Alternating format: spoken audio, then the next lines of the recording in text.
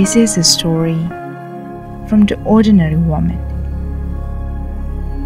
from the hidden paradise in East Kalimantan. The story of her effort to create, care for, and realize her dreams. Benua Etam, paradise in the land, paradise in the water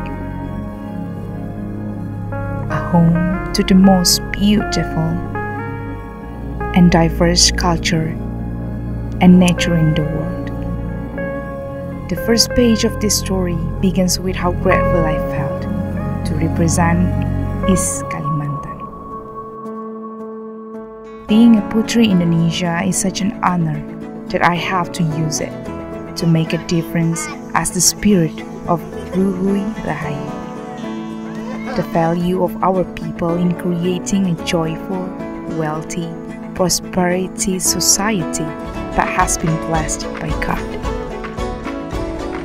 Based on my journey, I include all of my thoughts and creativity into my writing. Words have the power to encourage, inspire, and even heal.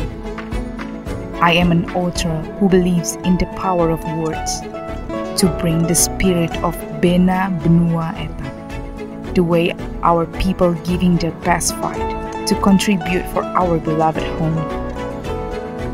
Born and raised by a single mother, has shown me that women should be brave to fight for their future, since a great leader comes from a wonderful mother.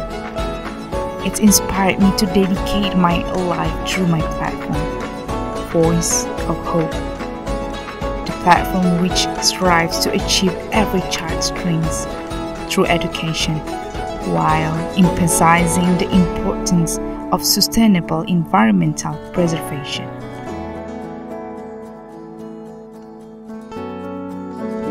Tuan Kayan Ilau Urip Inspire the East Kalimantan's people to protect and preserve our nature.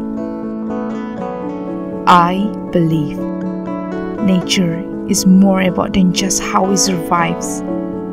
It is also about how we preserve and leave a legacy for the future generations.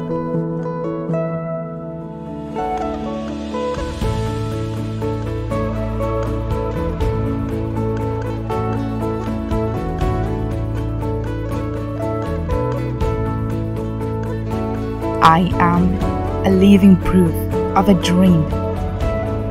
We live with it. We live in it. Now to shine. Priyanka.